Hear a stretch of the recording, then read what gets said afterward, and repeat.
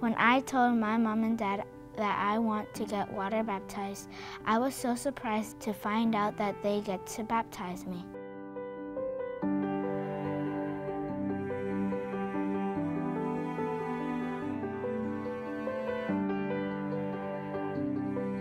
Then I found out that the people in our small group wanted to get water baptized the same day I was. That was too cool. Today, there's dads and moms who are baptizing their kids. There are small group leaders who are baptizing their neighbors and their friends who've come to their house, who they've led them to the Lord, because this isn't just something that a pastor does. This is something that all of us are involved in as a command of Scripture. I was an atheist.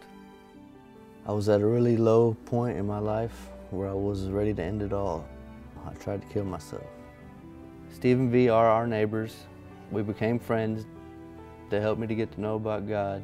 More importantly, they cared enough about me to help me know I matter to God and that there is hope. I started a relationship with Jesus. I've never felt this alive in my life. I am now part of their small group, and my wife and I love having friends that support and encourage us to live for God. I asked Steve what this water baptism thing was.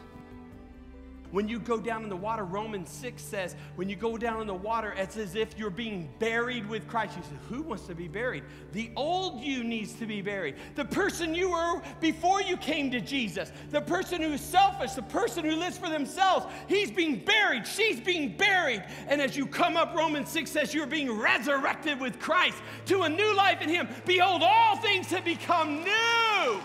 And I knew that was what God wanted me to do.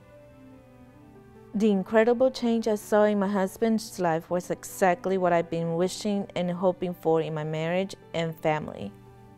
When he came home and told me that he wanted to take that public step as a Christian and turning away from sin, I knew that's what I needed to do as well. I knew we needed to do it together. My husband, Israel, and Steve have been friends for a very long time. Israel is a good husband and a good father, but he was always in and out of trouble. Steve was always there for him. He never stopped praying for him, always invited him to church and his small group. He cared a lot about Israel. Because of prayers, my husband started the journey back to the Lord. He so deeply wanted to get it right with God. He was willing to come clean and pay the price for his mistakes. Because of drinking, he went to prison. In prison, we talked about taking the step together to start living for God. We agreed to get water baptized together when he got out. Within a month, Israel got really sick. Five months after being in prison, he died. I wanted to get water baptized. I so wish Israel was here to do it with me. But when I found out that several of my dearest friends in my small group were getting water baptized, I was thrilled to have the people who were close to us be there with me. God is doing amazing things in our lives and of the people in our small group. The day I got water baptized was a very, very special day.